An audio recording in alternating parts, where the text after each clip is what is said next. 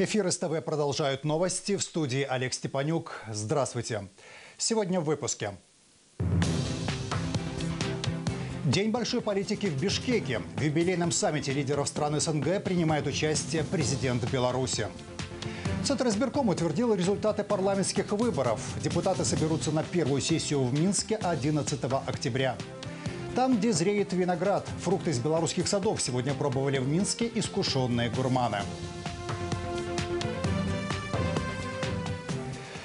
Кыргызстан сегодня стал столицей политической жизни Содружества независимых государств. В эти минуты в Бишкеке открылся саммит глав государств-участников СНГ.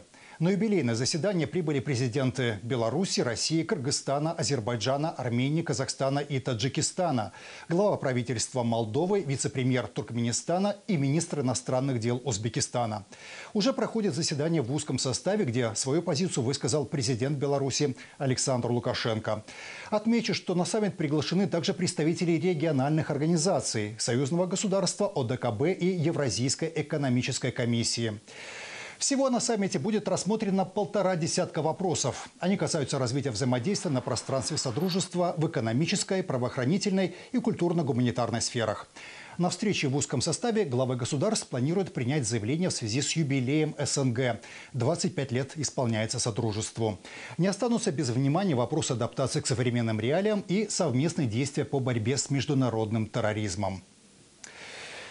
Бишкек стал также площадкой для ряда двусторонних переговоров. О развитии партнерства в различных сферах между странами речь шла на встрече президента Беларуси с премьер-министром Молдовы.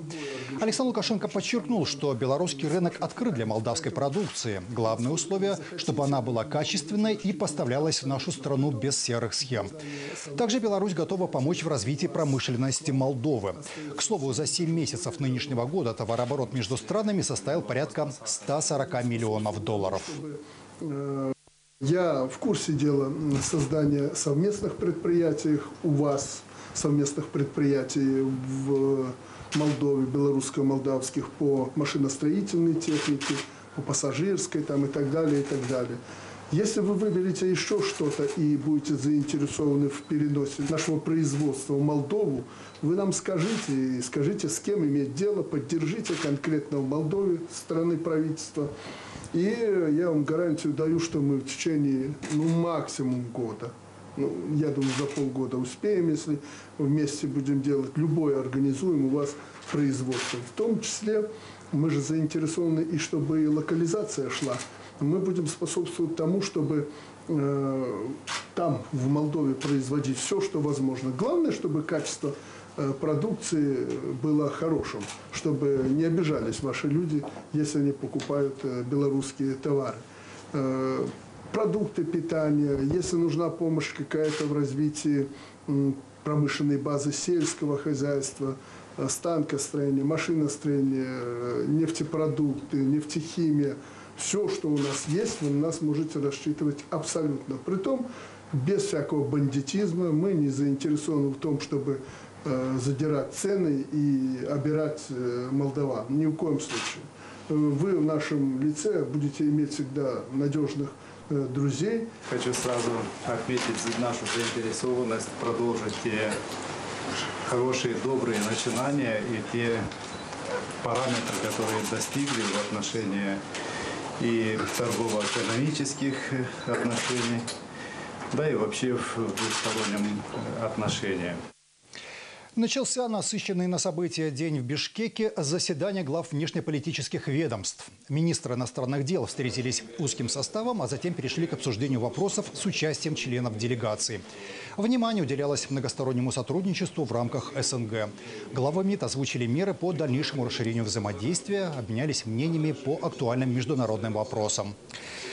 Одной из ключевых тем стала оптимизация работы Содружества. За новостями из Бишкека мы продолжим следить в наших следующих выпусках. А теперь к другим темам. Центр избирком Беларуси подвел результаты выборов депутатов Палаты представителей Национального собрания. Членами комиссии принят проект соответствующего постановления и тем самым зарегистрированы депутаты, избранные 11 сентября по 110 округам. Точная явка составила 74,68%. В течение кампании поступило 480 обращений, другими словами, жалоб. Если сравнить эту цифру с данными предыдущих парламентских выборов, то количество обращений, поданных в Центр избирком, значительно уменьшилось. Четыре года назад их было более 600. Тенденции таковы. Количество избирателей, участвующих в выборах, остается на прежнем уровне.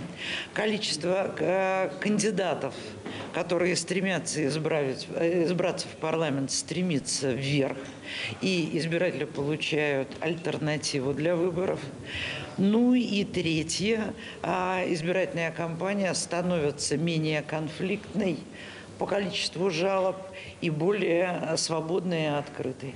Я думаю, что э, самым главным достижением этих выборов это то, что э, наши местные, особенно власти, учатся предоставлять широкие возможности для ведения всех публичных мероприятий, связанных с выборами. Кроме того, на заседании подведены итоги выборов в Верхнюю палату белорусского парламента. Как было отмечено, они прошли в полном соответствии с избирательным законодательством. Само голосование состоялось в течение одного дня, а подготовительная работа велась в течение отведенного избирательным кодексом времени. Избрано по 8 членов Совета Республики от каждой области и Минска. Всего 56 сенаторов. Первое заседание палат парламента нового созыва состоятся 11 и 12 октября. Председатель ЦИК также охарактеризовала доклад БДИПЧ ОБСЕ по выборам в парламент. Предварительный отчет э, вполне сбалансированный. Да, мы с чем-то не согласны. Мы, например, не согласны абсолютно с этими предложениями, направленными на дискриминацию избирателей в полном смысле этого слова. То, что мы э, гордимся и считаем, что вот эта вот простота участия и включения, инклюзивная всех э, избирателей по месту жительства, возможность голосования по месту жительства, не доказывая факт проживания через суд, суд, как существует в некоторых государствах. Это наоборот а, упрощение порядка, это привлечение на выборы.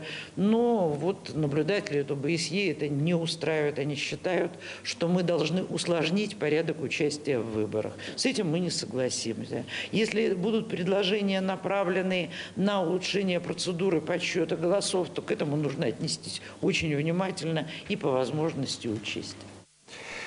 Ситуация в ЕС близка к критической. Об этом заявила канцлер Германии Ангела Меркель. В Братиславе проходит саммит Евросоюза.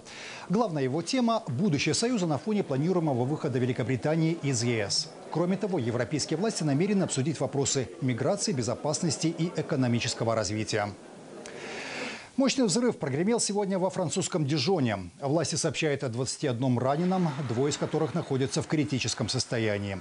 Известно также, что обрушился фасад одного из домов. Причина – детонация бытового газа. Полиция рассматривает несколько версий произошедшего. Возможность теракта даже не озвучивается. На месте ЧП продолжают работу спасатели. Освобождение захваченного аэродрома. В Беларуси продолжается командно-штабное учение вооруженных сил. Так под Полоском развернулась настоящая антитеррористическая операция. По замыслу учения незаконное вооруженное формирование захватило воздушную гавань.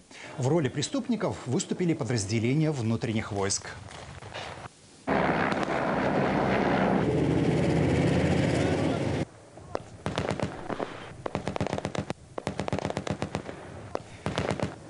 Неприятелю противостоял парашютно-десантный батальон. В ход пошли бронетранспортеры и авиация. Перед штурмом совместно с голубыми беретами была проведена разведка местности. В результате аэродром был освобожден и взят под охрану. В целом задачи выполнены. Для выполнения его, этой задачи привлекалась авиация, использовались воздушно-поисковые штурмовые группы, осуществлялось применение беспилотных авиационных комплексов типа «Москит», Велась разведка днем и ночью.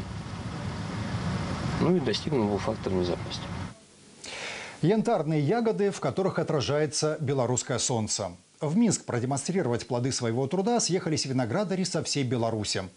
Экзотический фрукт давно прописался на участках отечественных садоводов, забыв про репутацию южанина. Количество сортов, что прижились в наших умеренных широтах, достигло 900.